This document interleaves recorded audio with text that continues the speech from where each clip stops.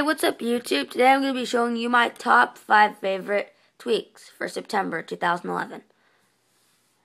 Okay, so my first tweak is called uh, Move Lock Screen to Unlock. And basically that's all that you do. You basically just like move your lock screen. Let me just show you. You can move it in any which way you want and it'll unlock.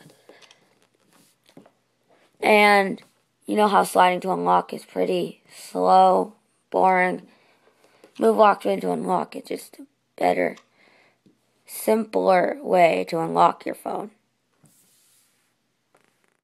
Okay, so my next tweak is called Call Bar.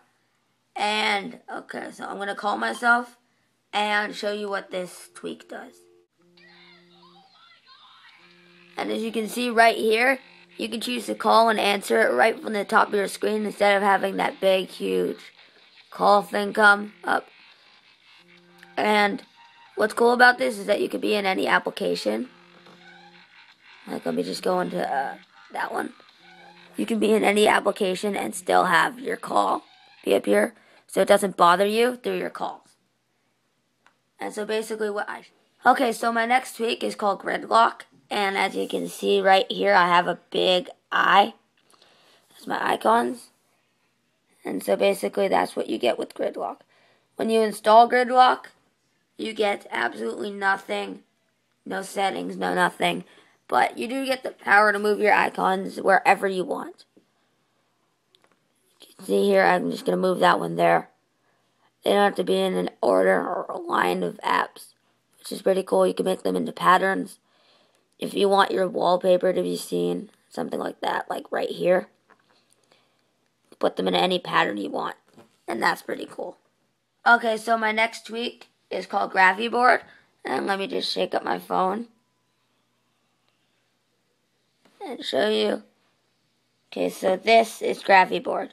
You can rotate your phone whichever way you want your icons to, to go.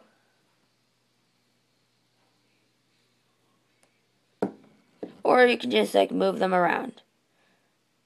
Just throw them around wherever you want.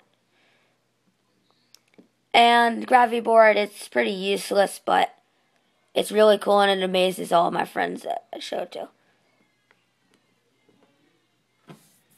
Okay, so my last tweak is called Fake Operator.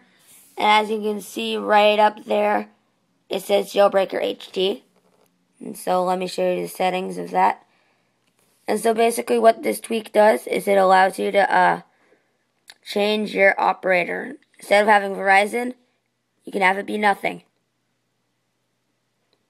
Or you can change it to, I don't know, Fred.